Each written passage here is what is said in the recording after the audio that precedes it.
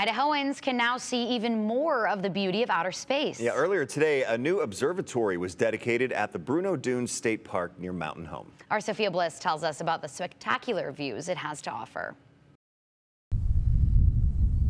You might know Bruneau for its gigantic sand dunes. We currently have the tallest single structured sand dune in North America, standing at 470 feet. The state park has also been home to an observatory for the past 25 years. And today, a new era. A brand new observatory will be carrying on the stargazing experience along with a new telescope. We are extremely excited. With this new telescope, the parks manager says people will be able to see farther and clearer than ever before. So the old telescope, like I said, it's great.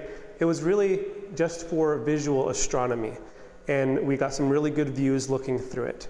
But you couldn't do any kind of imaging with it. The new telescope, um, it's got several cameras attached. Um, got one wide angle camera, uh, which is going to be for like deep sky uh, galaxies, nebula, star clusters, and then one for planetary, so looking at solar system type objects.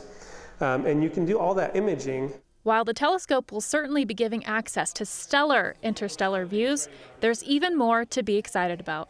The most exciting thing for me isn't necessarily the telescope, it's not um, the building or anything like that. It's the fact that we have yet one more thing to bring people outside, to get them to enjoy the night sky, and to show them just the value of having a preserved dark sky. The sky may be dark, but the view can spark a new outlook. I see all, all different ages of kids coming down and really, for the first time, seeing Saturn or seeing Jupiter and seeing that there's moons around this little planet out there. Uh, they get a sense of just how big the universe is. It gives them that perspective.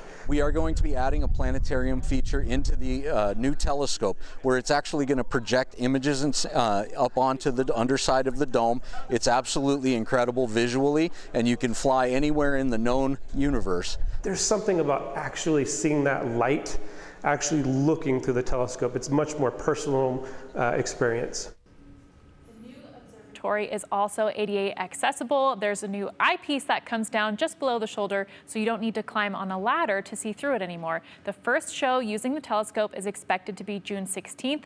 Then programs will be offered Friday and Saturday nights. That's okay, cool. Friday and Saturday nights. Mm -hmm. Is there a time though? It's going to change with the time that the sun sets, so you got to check that out first. And wait, we've got wait, some. Wait for the sun to go down. yeah, yes. exactly. So 10:30 in the middle of the summer. Yes. All yep. right. Yep, Sophia. Thank you.